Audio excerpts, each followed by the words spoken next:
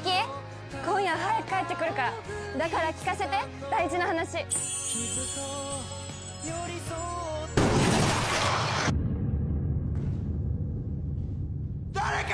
原市全域に避難指示が出ました。社長。あいつらに噛まれてないか。反省してないかって聞いてんだよ。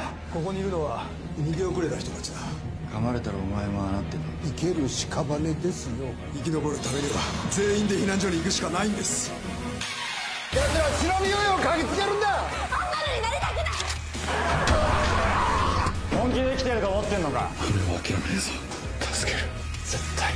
新日曜ドラマ「君と世界が終わる日に」1月17日日曜夜10時30分スタート。道がなきゃ